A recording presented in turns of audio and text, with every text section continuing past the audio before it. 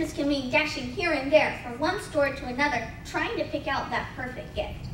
Yet, without Jesus, there's no announcement, no shepherds on the hillside, no manger filled with hay, and no gifts from the wise men. What does Jesus mean to me?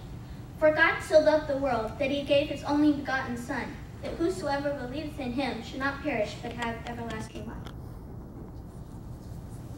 Jesus means Christmas to me.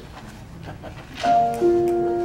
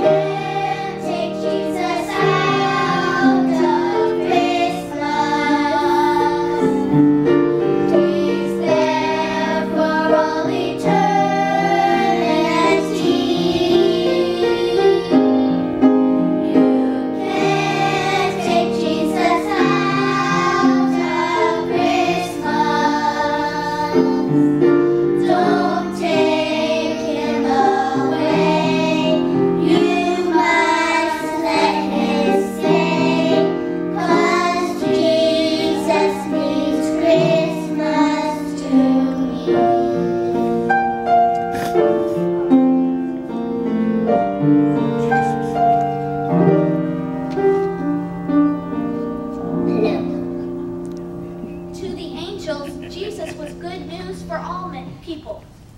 To the shepherds, Jesus was the humble child in the manger, sent for mankind. To the wise men, Jesus was the king of the Jews. What does Jesus mean to you and me today?